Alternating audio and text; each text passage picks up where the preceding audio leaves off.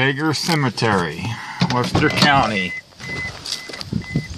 Historical Cemetery.